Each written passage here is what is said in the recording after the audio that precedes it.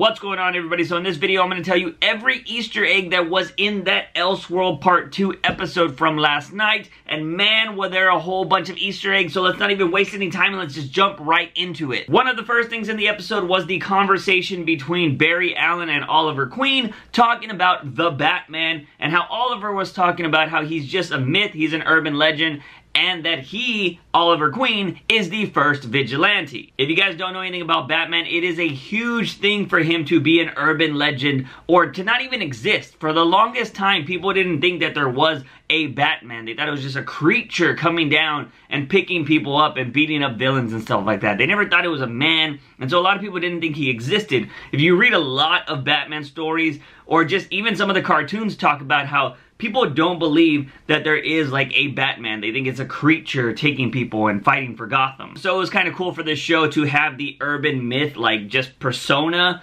of the character, but also Oliver Queen says he is the original vigilante. Now, of course, that is reference into the show because Arrow was the first show that was made on the CW, although they're not counting Smallville, which is currently now in the multiverse. So yeah, again, in our eyes, Oliver Queen's still not the original vigilante because there was a Green Arrow on Smallville. But to also prove that Oliver Queen is not the original vigilante, Green Arrow was created in 1941, whereas Batman was created in 1939, so Oliver Queen not the original vigilante. Now these next two Easter eggs are pretty obvious, with one being the bat signal and the other being Wayne Enterprises. Both of these are connected to the Batman and Bruce Wayne. Wayne Enterprises is usually a place where Batman has a lot of hidden rooms and he has like extra equipment and stuff like that. And of course, it's where he does his business by day as Bruce Wayne and then he'll use it by night as Batman. Next up is Vesper Fairchild, and this was the woman that Oliver kept talking about throughout the episode that we eventually found out that he slept with, and now she hates him. Vesper Fairchild is a radio talk show host like they said in the show, but she was also a love interest of Bruce Wayne, and a pretty serious one at that. But if you've ever read the Batman story Bruce Wayne Fugitive, you know that Vesper Fairchild was murdered and Bruce Wayne was framed for that murder. Side note, very underrated storyline. If you ever get to read it, check it out. I thought thought it was awesome. Next thing on the list is Kate Kane. Now, a lot of people might not assume this is an Easter egg because they're just like, that's just Batwoman, but did you know that freaking Kate Kane is the second version of Batwoman? Which can be a little confusing because Batwoman has always been Catherine Kane, but there have been two different versions. One was known as Kathy Kane, and of course there's this version known as Kate Kane. The difference between them is Kathy Kane, which was the original Batwoman, was an actual love interest of Batman and a lot of people believe and it has been said that she was only created to kind of get people away from the idea that Batman and Robin were gay. Years later, Batwoman was recreated to be Kate Kane, the cousin of Bruce Wayne, and she was also a lesbian.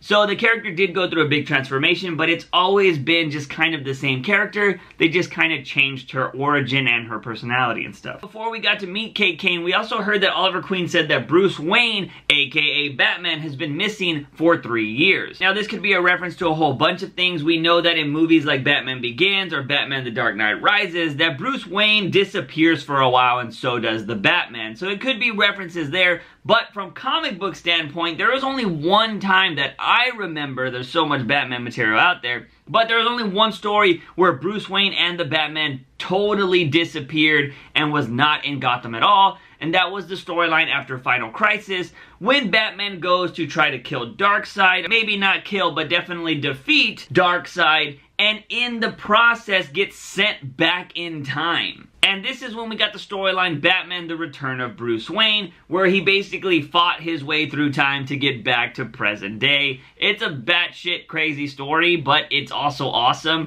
You should definitely read it. And that's also the time when Dick Grayson became Batman. That was the whole era of when Batman became not Bruce Wayne. I don't know where I was going with that. But yeah, that was something really interesting there. Batman being gone for three years could be that he's totally back in time going through a whole bunch of stuff perfect time to bring him in on Legends or something like that. I don't know, just saying. Next up, some people might have glossed over this one, but when Batwoman says, have you used retina scan? And the guys were like, of course we've done that. They're like, I could have one of Bruce's old R&D guys look at this. He works in the building. You might have not caught on that that could be Lucius Fox, who does work at Wayne Enterprises and was part of the R&D department and also makes all of Batman's gadgets. So if we do get that Batwoman show, it is very possible that we'll get Lucius Fox as her guy that is creating all the weapons for Batwoman. The next one I feel like everybody caught on to, and of course the Wi-Fi password being Alfred just means it's a reference to Alfred Pennyworth, the faithful butler of Bruce Wayne. Next thing on the list is the statue that Kara picked up in Bruce Wayne's office.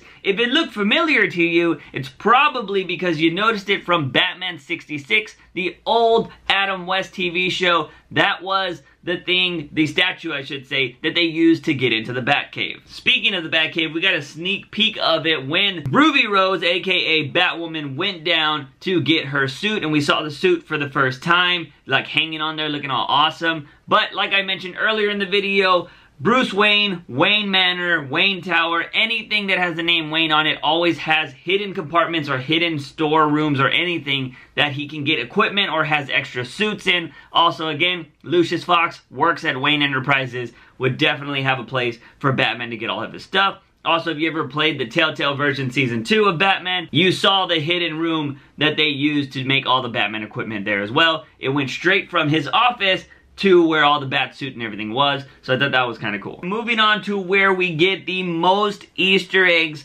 of the episode, and that is Arkham Asylum. Obviously, everybody knows Arkham Asylum. We see them outside the sign. Arkham Asylum, but it's when we get inside to Arkham that they just start dropping Easter eggs like crazy. Some of the biggest ones happen when Oliver and John are walking through the hallways and we see the names on the doors of who is in these cells one being Oswald Cobblepot, the next being Isley P, which is Pamela Isley, aka Poison Ivy. Then we got Karlo B, which is Basil Karlo, aka Clayface. Then we get this nice little riddle of what is blue and gray and red all over before we see the name Edward Nygma, I should say Enigma E. Then we get Guggenheim M, which might have confused a lot of people because you're like, oh man, what Batman character is that? Well, it's actually the former executive producer producer, or I should say showrunner, for the Arrowverse. So they were kind of just throwing some homage out there, like, hey man, paying their respects to their former showrunner. And I thought that was kind of cool, although I was like, man, what character is that?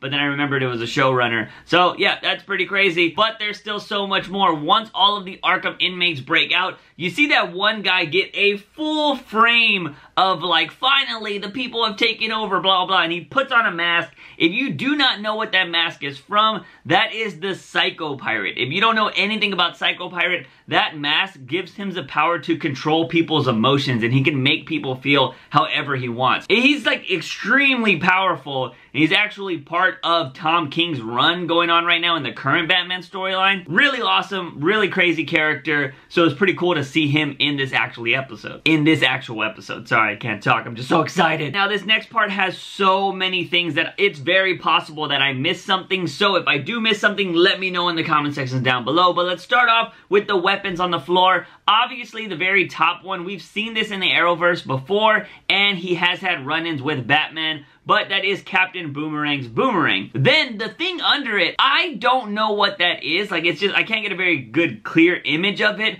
but my thinking is that could be one of Joker's buzzers that he always wears on his hands when he shakes somebody, it shocks them really bad. I think that might be one of the buzzers that he uses. Next up, we have these what are obviously grenades, and I couldn't really tell because they looked very odd, but I believe they are penguin grenades. They look like little penguins, and of course you would, you know, take off their heads or whatever and they would explode, which I think is completely awesome. Then we got this shelf of craziness. And just with this one screen cap here, you can see an umbrella, which is more than likely Penguin's umbrella. Then you have the Riddler's cane with the question mark, which is insanity right there. And of course, at the top, you have Bane's mask. There are some teeth in a jar, which you could reference to the Joker, which he has those chattering teeth.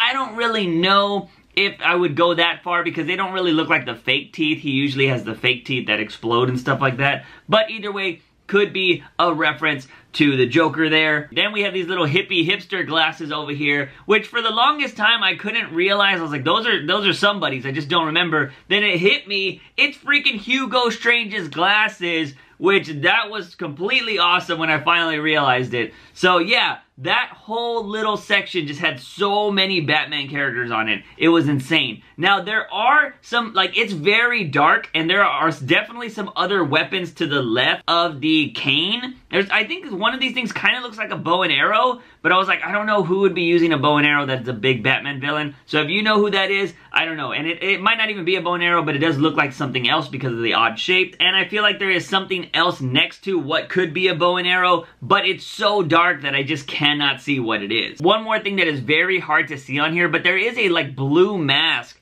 that is just sitting on the shelf right above Bane's mask.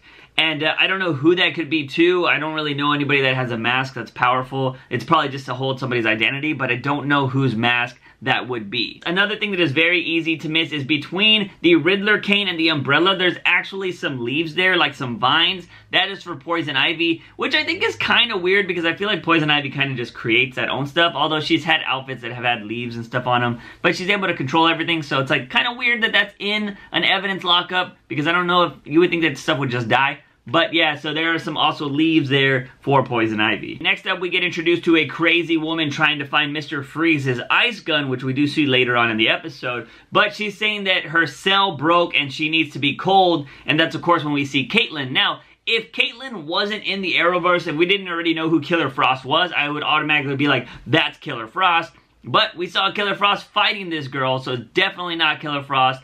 So the next up, it's either a character known as Ice or a character known as Ice Maiden, or it could just be some random chick that has ice issues. But we did see that the, the lady at the front desk did say that they had a few of those kind of characters. So this could be Ice or Ice Maiden, I don't know. But we'll probably never see this character again, so whatever. Jumping to outside of Arkham, we saw that Arrow, or I should say Barry Allen, got hit in the back of the head by freaking Psycho Pirate with a very candy cane type bat that could very well be a Harley Quinn bat. Or Santa Claus because Batman has went up against him too. Of course, Batwoman shows up like a badass by crushing the van that is about to escape with Psycho Pirate. That is a callback to The Dark Knight Rises, or Dark Knight, not Dark Knight Rises. Sorry, I got my Batman facts wrong. The Dark Knight entrance when Batman crushes the van when those guys are trying to escape the parking lot in that movie. Then we see that she has a remote control Batarang, which is something that you have in the Arkham games, if you ever played those, you throw them, they come back to you like boomerangs. It's pretty awesome. Then, of course, we get probably one of the coolest scenes in the episode, and that is when Oliver Queen tries to shoot his lightning bolt. It knocks a whole bunch of stuff over, and the stuff it knocks over are some little vials that say J. Crane, which, if you don't know who J. Crane is, Jonathan Crane, aka Scarecrow, and those little vials are his fear toxin, and this scene was awesome. Then, of course, Batwoman stops both of them because she's awesome too. And then at the end of that scene or whatever, Barry Allen is all like, can we take a ride in the Batmobile? And she's all like, leave. And, uh, you know, just paying homage to the Batmobile because the Batmobile's awesome. Sorry, I'm smiling. I'm smiling a lot because just the nerd in me, the next scene got me, like, just in the feels because we had Supergirl talking to Batwoman and they were just, you know, they both knew each other's identities because, you know, she's got x-ray vision, Batwoman just knows, like, everything because she's just like Batman,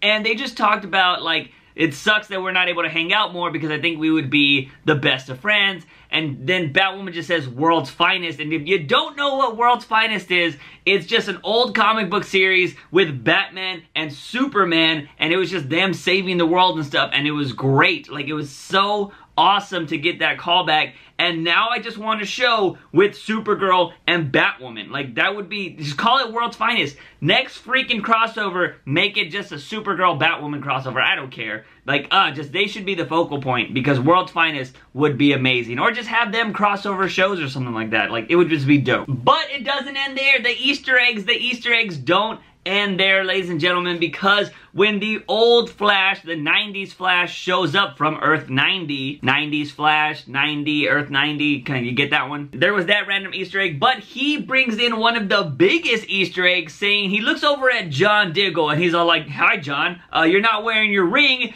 freaking the Green Lantern ring. John is freaking John Stewart on Earth 90. He is a Green Lantern. So hopefully in the future, John Diggle will become the Green Lantern. Two more Easter eggs to go, and the next one up is at the end of the episode when reality changes again. We see that Barry Allen and Oliver Queen are in these like gangster biker suits and they have a newspaper called the Trigger Twins. These are old Batman villains that are two Western brothers that uh, just go around robbing places. So yeah, old school Batman villains, the Trigger Twins, show up in the Arrowverse. Of course, lastly, we have the black suit Superman, which I feel like a lot of people know that this is a callback to the comics when he had his black suit, or just the animated series if you've ever seen the animated series. So yes, there it is, ladies and gentlemen. Those are all the Easter eggs in part two of Elseworlds.